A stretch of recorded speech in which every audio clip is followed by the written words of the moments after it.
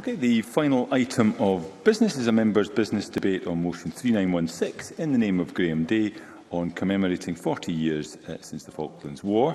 This debate will be concluded without any questions being put. I would encourage members who wish to participate to press the request to speak buttons now as soon as possible, place an R in the chat function, uh, and I call on Stuart McMillan uh, to open the debate on behalf of Graham Day. For around seven minutes, Mr McMillan. Uh, thank you very much, Presiding Officer. Uh, Presiding Officer, uh, I am delivering the speech today on behalf of my colleague Graham Day, MSP, who is ill. I was privileged to be asked to deliver uh, this speech today for Graham and imagine that my role in the Scottish Parliament branch of the and also the Executive Committee of the Commonwealth Parliamentary Association might have been a factor in that. In 2013, I did visit the Falkland Islands on behalf of the Scottish Parliament to take part in a conference on the issue of self-determination for the Falkland Islands, something which Graham touches upon in his speech. So from this point onwards, I that this speech is from Graham Day. Any commemoration demands careful reflection upon an event's impacts and legacies, and one marking a 40th anniversary requires a particular focus. Many, if not uh, most of us in this chamber, will have some recollection of the Falklands conflict. And I'm grateful to those colleagues who supported the motion and are contributing uh, this evening. But a recent survey by Help for Heroes found that almost half of 18 to 34-year-olds did not know when the Falklands War happened. Indeed, over a quarter of them had not even heard of it.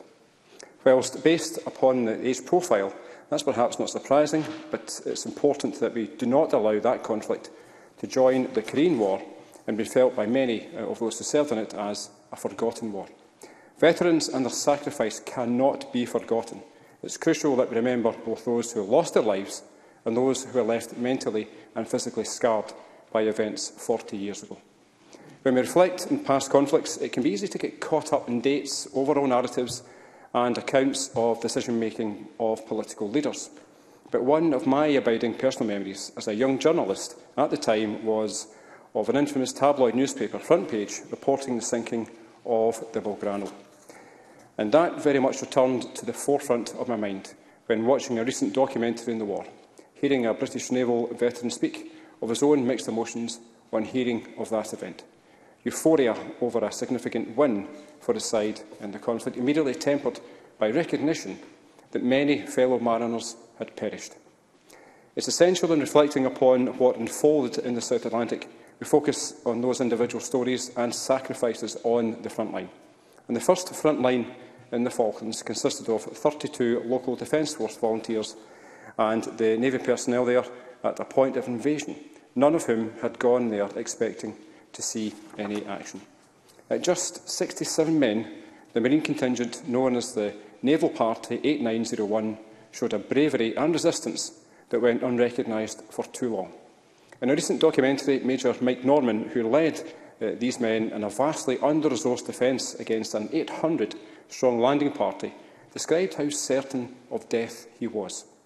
Many tabloid headlines at the time painted Norman and his men as cowards. Their efforts, now acknowledged, however, quash any such claim. And during the several hours of fighting, around 6,500 rounds of ammunition were discharged. Casualties were inflicted and arms were eventually laid down only on the orders of the British governor.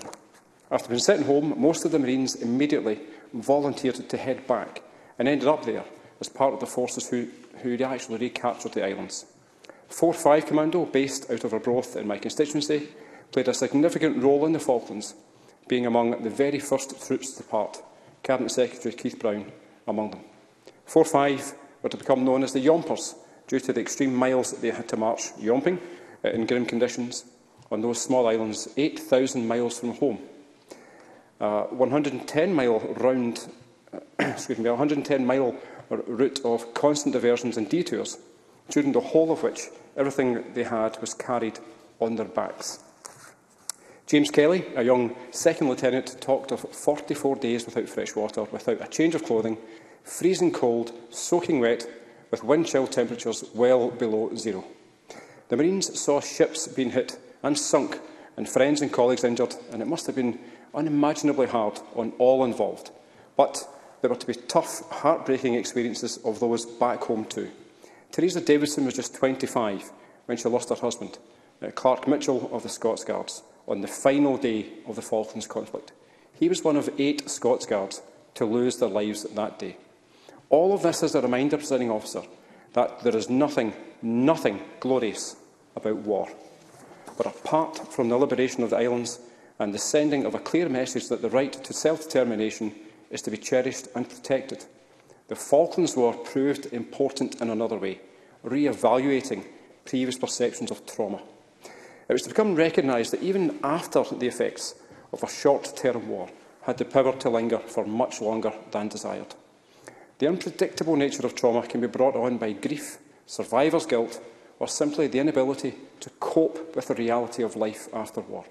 As a result, too many Falklands veterans have been led into paths of alcoholism, drug abuse, homelessness, family breakdown and also crime. And when you read the stories of Falklands veterans, the main takeaway is that for most, not a day goes by without a memory or thought of the conflict. Individual decisions made during the war can still play on their minds, with the only solution being to live with them and their consequences, good or bad post-traumatic stress disorder, PTSD, wasn't recognised until 1987. Before then, it was known as, during the, the Second World War, as shell shock. And during the Great War, it was viewed as cowardice.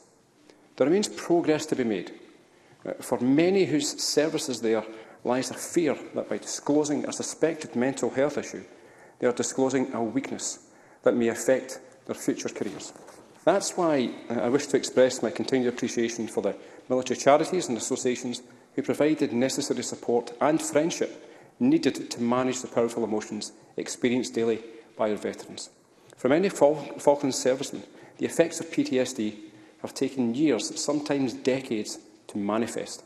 Before PTSD received its recognition, veterans were shunned and unsupported to the point where the act of seeking help seemed out of the question. And take the example of the youngest Scot deployed in the Falklands David Cruikshanks, aged 17, for him joining the Navy was a dream come true. It was not until 1999, 17 years after the Falklands War, that his struggle with PTSD and depression was picked up by a doctor in an unrelated consultation. Only then did he start to speak out about his personal struggles. Presiding officer, last November it was fortunate to revisit RM Condor's Woodlands Garden of Remembrance, a poignant memorial to the men who have lost their lives in various conflicts, including the Falklands. The garden's tranquil environment offers a focal point for the men of 4-5 Commando and their relatives to reflect and remember. You cannot visit it and fail to be moved. Though it is a matter of record that 255 British servicemen lost their lives in the Falklands, as well as, lest we forget, 649 Argentinians, According to Royal British Legion figures, approximately 350 British Falklands veterans have taken their own lives since the conflict. Whilst it can be said that in the subsequent decades since the Falklands War, there has been more cultural awareness to the seriousness of PTSD, it's still an issue many struggle with. The expectation during the Falklands conflict was to get on with it and deal with it yourself, whatever it actually was. There can no longer be a stigma around asking for help an act so simple, yet in some cases life-changing. To conclude uh, my contribution to this debate, I want to quote Ian Gardner, then commander of X-Ray Company, 4-5 Commando, as he reflected in the war, and I quote, We are all of us changed men. For many, it was a pivotal event in their lives. The time before was innocence, while afterwards was a particular form of adulthood that not many ever see. In recognition of these words, This anniversary must serve as a reminder of the need, our collective responsibility to support those of our veterans whose service exacted a toll, because they bear their physical and mental wounds every single day, not just during anniversaries of the conflicts in which they saw action. Thank you. Thank you very much, uh, Mr McMillan. Thank you for stepping into the, the, the brief at short notice. Uh, we now move to the open debate. I call first Jackson Carlo to be followed by Sarah Boyack for around four minutes, Mr Carlo. Thank you, Presiding Officer, and it's a pleasure to contribute a few thoughts uh, to this debate, 40 years since the UK's victory in Port Stanley and the end of the Falklands War. And I thank Graham Day for tabling the motion, wish him well, Uh, thanks, Stuart McMillan, for introducing it and associate myself really with everything that he had to say. And I'm delighted, actually, to see the Scottish Parliament taking the time to commemorate again those lost in the war and the fight to ensure that the Falkland Islanders are British, free and able to choose their future. And acknowledge and welcome Mr Brown's repeat performance this afternoon and, of course, his service to the Falklands in that conflict.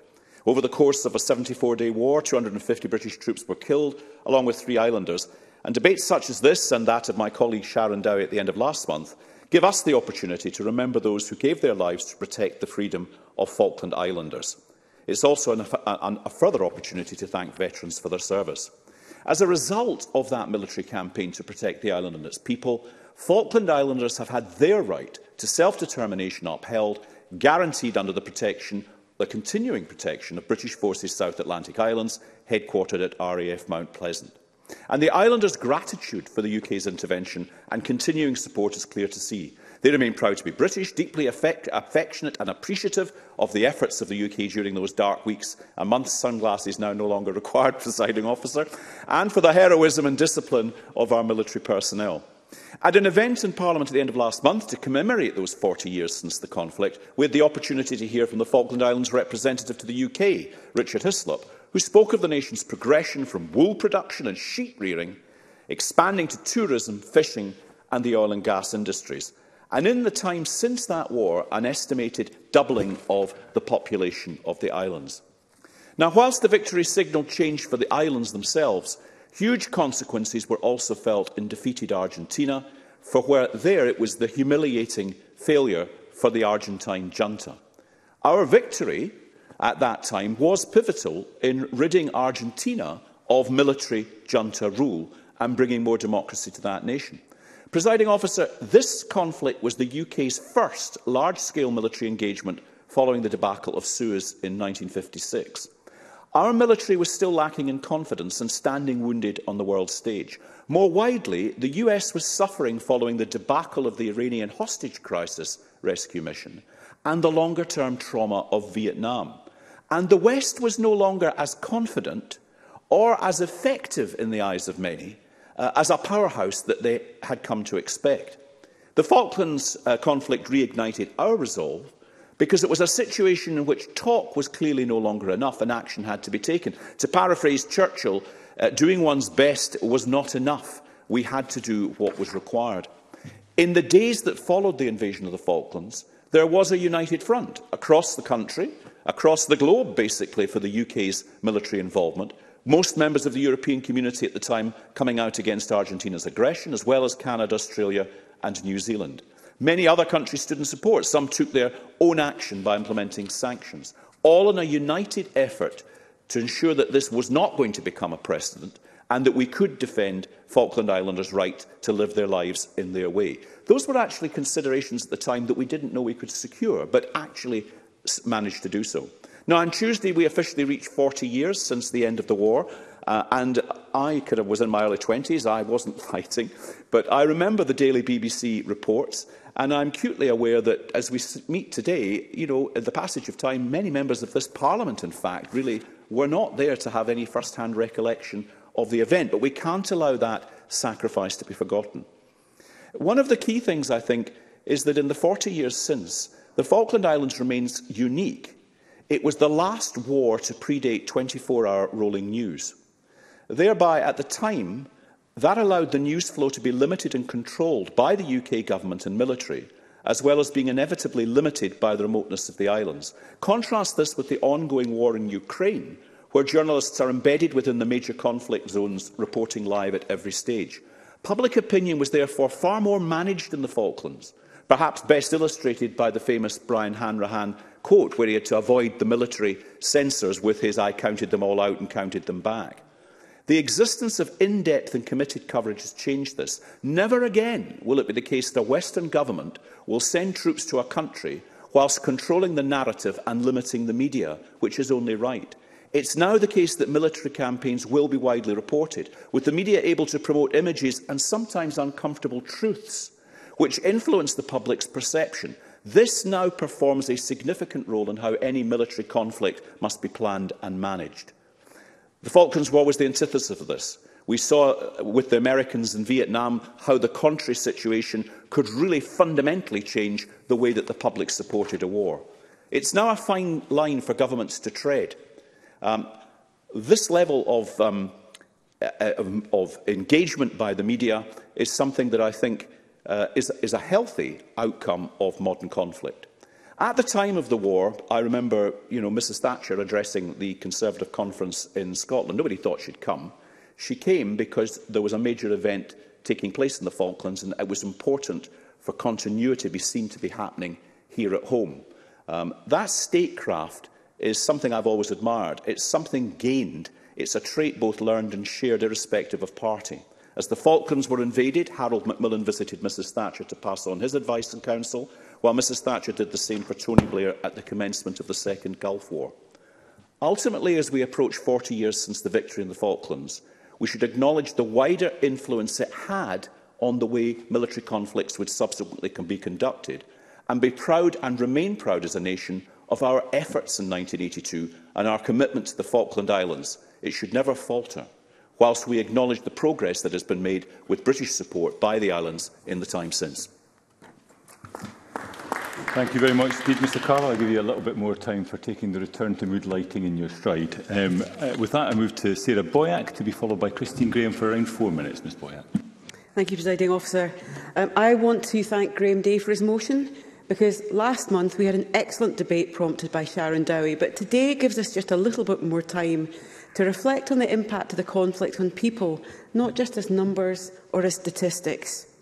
Because for many, the impact of war, serving on the front line, stays with them throughout their lives. And it's not necessarily something people want to talk about because of the impact on their lives, their mental and physical health, and the impact on their families. So while we celebrate this 40th anniversary, we also need to remember that it's an incredibly painful anniversary for many who lost a family member or who, the impact of the war lives with them today.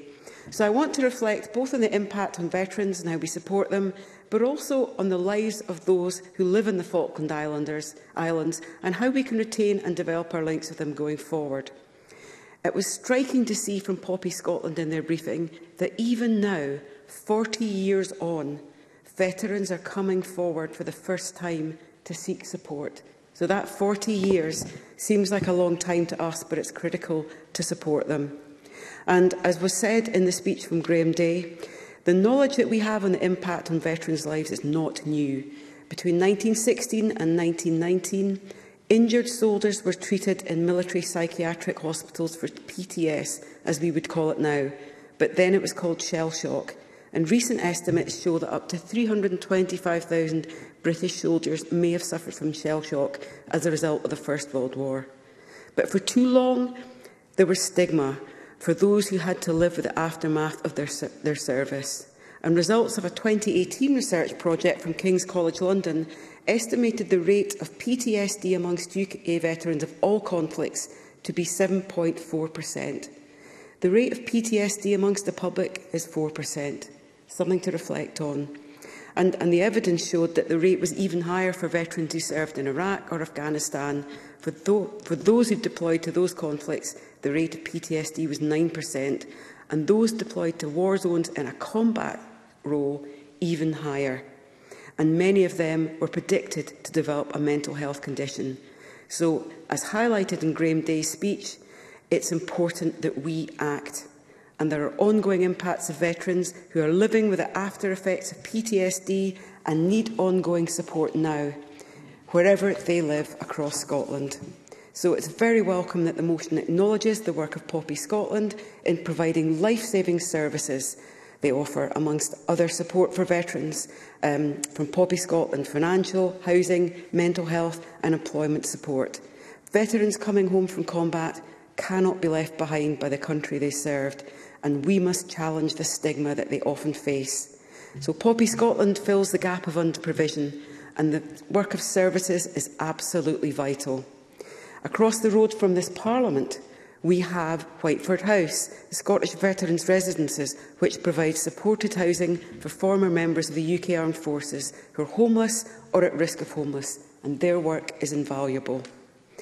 But it's also important, I think, and I want to just finish with a few words on the impact of the Falkland Islands for the islanders themselves, who were grateful for support, but they themselves needed to recover from the stress and the anxiety of armed conflict and from the unexploded bombs on their land. And we have many links between the Falkland Islands and Scotland, with some of the first settlers being from Scotland, and even the name came from Scots. And we have strong ties with the Scots Guard there. I'm told that the dialect spoken in Falklands is actually a very unusual mix of Scots and Somerset. That makes the islanders somewhat unique.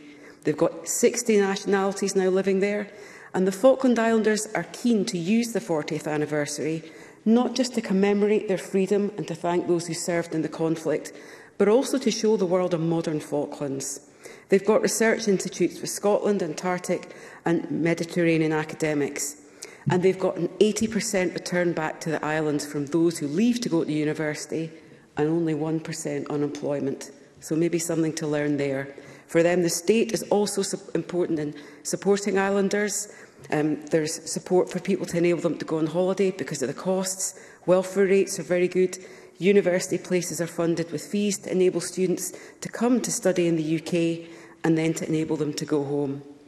So as we celebrate the 40th anniversary, Let us remember both those who put their lives on the line, not just in the Falklands, but in subsequent military conflicts since then. And let us also reflect on the aspirations of the islanders, how we retain and develop our links.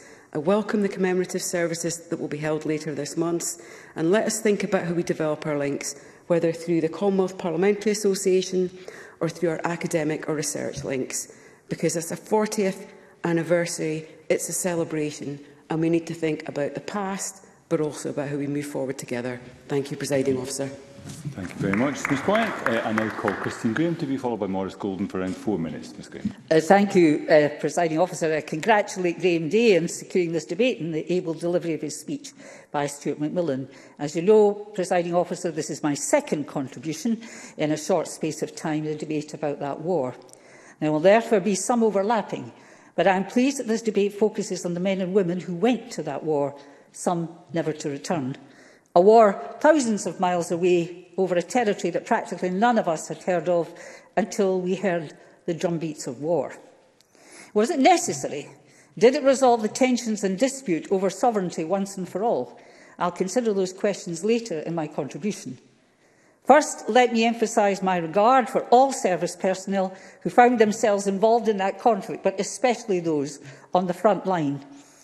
My sincere sadness and regret for all the lives that were lost and for those who were injured both physically and mentally, the British, the Argentinians, the civilians.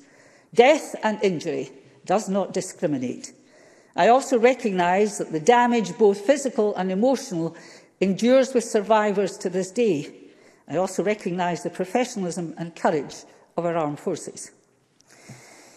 The toll was this. Three Falkland Islanders died. and total, 904 military personnel were killed in the conflict. Of those, 255 were British military personnel, 649 were Argentinians. British forces reported that 775 were wounded in the war, with 115 being captured between April and June. Meanwhile, 1,657 were reported wounded among Argentine's military personnel, and more than 11,000 were captured. 40 years ago, I said this in the previous debate, as I travelled on the bus to my law studies, I recall how horrified I was to hear passengers in front of me cheering that we should, quote, bash the Argies. Jingoism had a field day, fuelled in particular by the Sun newspaper – which took a bloodthirsty stance from the start, gambling that this would pay off in increased circulation. It did. It invited readers to sponsor Sidewinder missiles and offered free, quote, simply arduous, quotes, computer games. Splashed its front poster page with We'll Smash 'em, printed over pictures of Winston Churchill and a bulldog. Even urged the government to reject an offer of peace talks with the Argentinian military regime with the headline quote, stick it up your junta.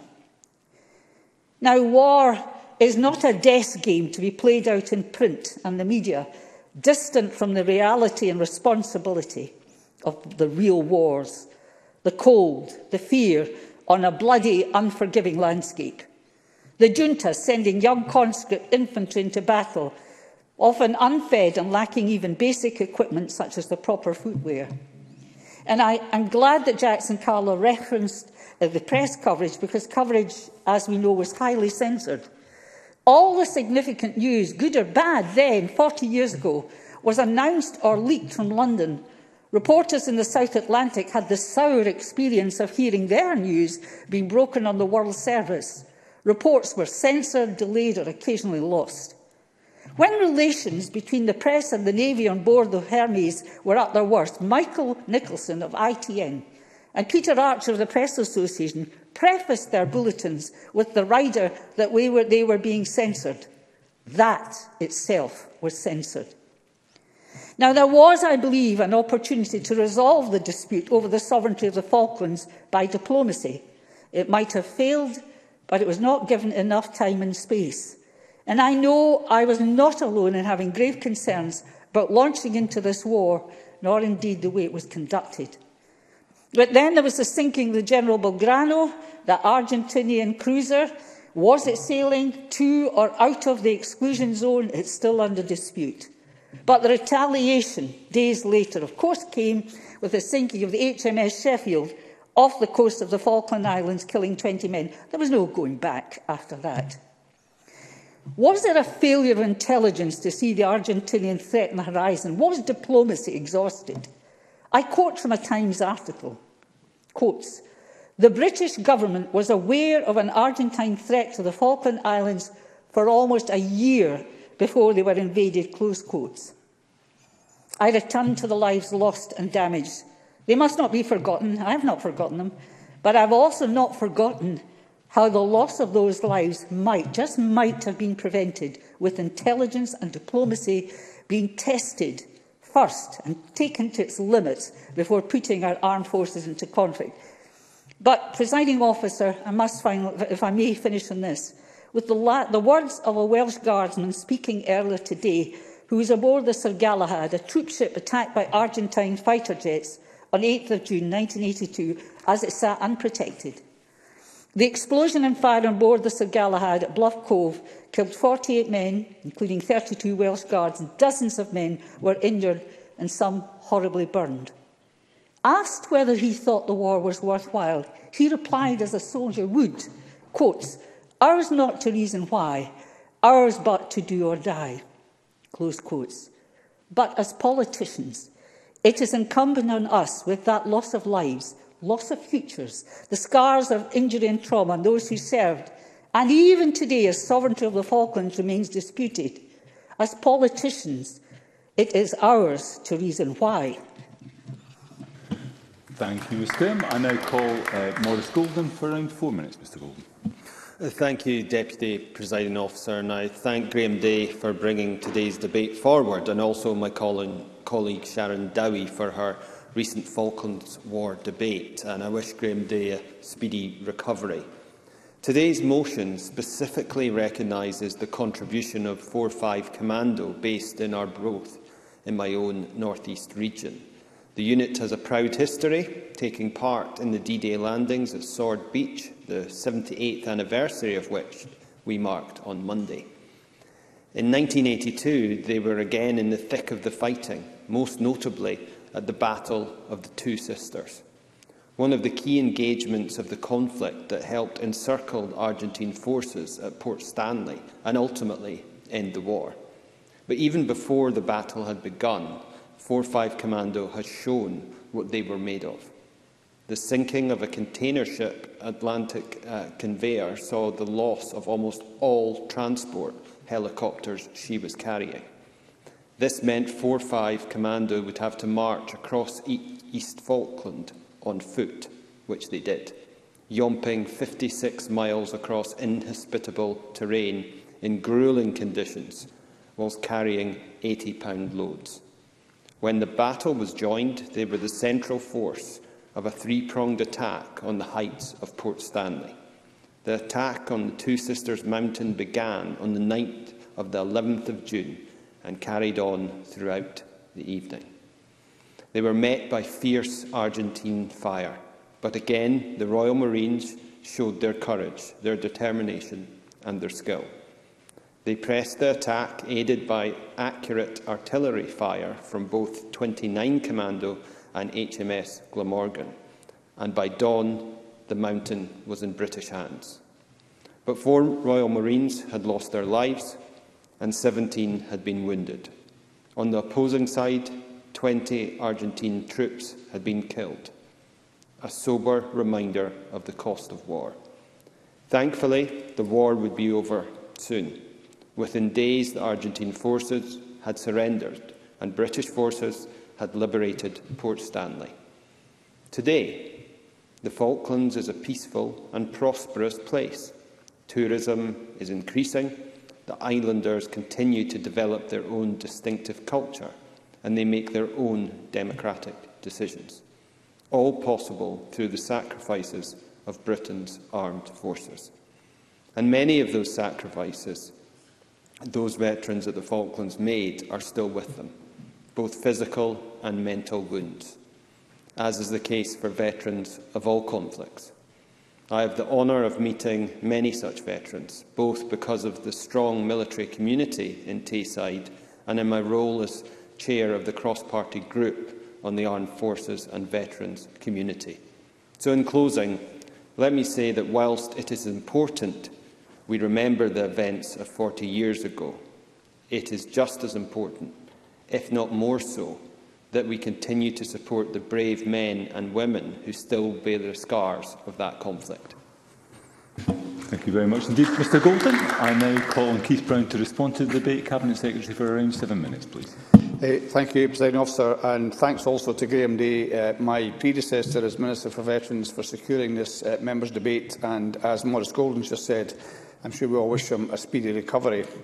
Um, the debate obviously marks the 40th anniversary, anniversary of the liberation of the Falkland Islands and the end of the Falkland War. As uh, Jackson Carlos said, it's strange to think of that being 40 years ago. And as I said last week, we uh, were then closer to the Second World War than we are now to the Falklands War. Um, it's also interesting at that time, uh, my experience was as a signaller, which meant I was lucky enough to have a radio, which was a high-frequency radio, which meant I could hear the Scotland World Cup matches, uh, which most people couldn't. Uh, unfortunately, this year I'll not be able to hear uh, or see the Scotland uh, World Cup team because they won't be there. Um, shows how things have changed in the intervening period. The debate's also changed, I think, from the one that we held most recently uh, with Sharon Dowie, and as far as uh, Jackson Carlo in particular has uh, focused quite rightly on the international implications and some of the uh, way that states have responded uh, to the uh, Falklands War. And, and I'll come back to that in a second. But first of all, to say he mentioned the principle of self-determination. I think that's a very important principle. Uh, it's a principle I think worth uh, fighting for. Although, of course, the debates will continue as to how the Falklands War came about in the first place, as Christine Graham has mentioned. But self-determination itself, I think, is a very important uh, principle. As we near the 40th anniversary, there are a number of upcoming events and activities that will provide all of us with a chance to consider the lasting impact of the conflict, and I look forward to attending uh, uh Legion, uh, Roberts Legion's event at the National Memorial Arboretum in Staffordshire to mark the official anniversary next week. And just to come back to another point that uh, Jackson Carroll made, the rest of my uh, contribution will focus rightly, I think, on what Graham Day wanted us to focus on in, in terms of his speech, which was about the impact on veterans. But just to go back to the, um, the point about a, uh, a if you like, states uh, and international states people. Uh, the Prime Minister, I understand, will come uh, also to that event next week. And I think he's also said in the last day or two that he will, if he gets the opportunity, go down to the Falkland Islands Um, now, Jackson Carlo mentions how important it was for, I think it was Margaret Thatcher, to get advice from Harold Macmillan and a couple of other examples of that kind. And I, I wouldn't uh, refute that. I think getting advice in these situations is always very important. But to come back to the point of Graham Day's speech, I think a really important piece of advice is to know about the impact that war itself has on those that are asked to go and fight the, the veterans, uh, the people that um, don't come back from wars. And I, for my part, am more than happy to contribute to enhancing the knowledge of the Prime Minister if he wants to uh, discuss that, either next week or in the Falkland Islands or any other time, because I think it's extremely important that people that may have the responsibility of sending people to war have a full understanding of the impact. And that's what Graham Day has tried to do in terms of, of his speech. Uh, I should mention just briefly, because uh, Maurice Gold and others mentioned um, the, uh, the memorial garden at um, Condor Barracks, and just to mention the, the four people in my troop, as I did last week, who died and didn't come back. So Sergeant Bob Leaving, who was um, a sergeant who had a, a wife and family, uh, a Corporal Fitton, uh, Corporal Uren, and Marine Phillips, uh, same age, same rank, uh, same first name as me, who at uh, 19 years old never returned from the Falkland Islands.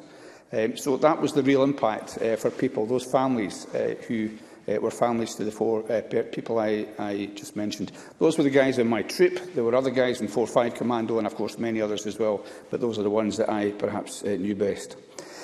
Uh, I should say I'm also delighted to see that we, the Scottish Government, have been able to partner with uh, Legion Scotland and Poppy Scotland, uh, as is men mentioned by Sarah Boyack, to establish a Scottish national event here in Edinburgh on the 18th of June, which will provide the people of Scotland with an opportunity to commemorate the anniversary. And to coincide with that event, Poppy Scotland are delivering a wider learning programme. The point was made both last week and this week about um, uh, people being aware of it or people not being aware of the Falkland Islands. So that learning programme and package of resources to schools across the country to allow young people to learn more about the conflict as well as highlighting the role of the armed forces uh, today, uh, how we can support them and their families, I think is very important. And uh, it's important that we also acknowledge the lasting impact, as Graham Day is trying to pass on to us, the, that the experiences of war can have on some members of the armed forces community, and we continue to work to address this. Many veterans of the Falklands still struggle with physical or mental scars or have faced hardships in the years afterwards. Veterans from this particular conflict uh, conflict served at a time when there was a lack of knowledge and education about mental health symptoms. Uh, there's also a huge amount of stigma associated with mental health issues.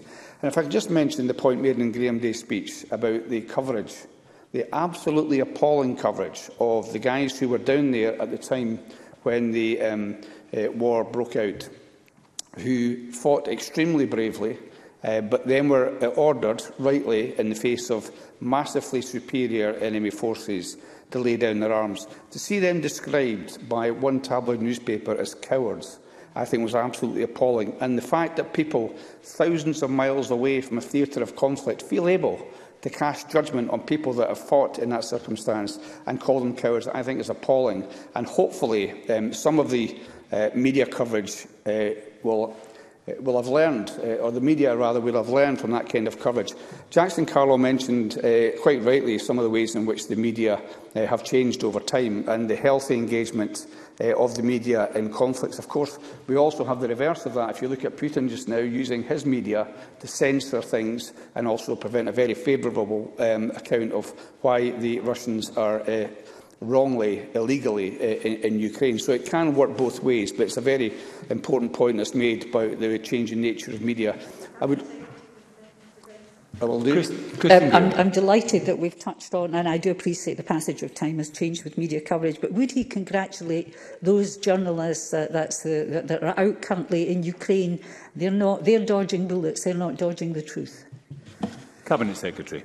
I think that's very well put, and I think you have to remember when you see people like that, Clive Myrie and various other people, that they are in real danger in those circumstances. Um, but I, I would say, uh, just to go back briefly to that point about the way that the people that were currently there, the Marine detachment that was there in the Falklands at the time, have been portrayed.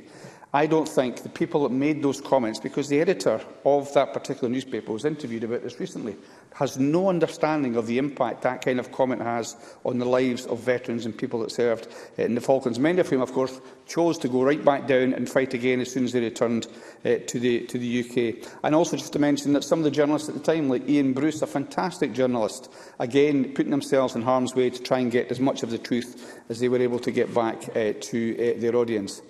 Uh, we are also trying to continue to campaign to address the stigma experienced by veterans and their families. The campaign led by See Me will address negative views and promote the positive images of veterans contributing as employees, volunteers, blue light officers, clinicians, carers and community representatives. Over a number of years, we have supported veterans and their families with mental health needs through the innovative work of Veterans First Point and Combat Stress. We have funded both organisations to provide specific mental health services for veterans and their families and are continuing to fund both of these specialist providers this year. Combat Stress will receive £1.4 million to provide a Scotland-wide veteran mental health service. And, and Combat Stress will also provide a 24-hour telephone advice service, recognising that not all veterans are comfortable with online services. And I know that for older veterans, accessibility to services is really important, and Combat Stress recognise that need, and they've recently opened two new bases, one in Glasgow and the other in Edinburgh. And we've also agreed to continue funding the six existing veterans first point providers. They will receive £666,000 to be match funded by their local health boards. And that will enable veterans to access an NHS service in their community, which I know is appreciated by many service users.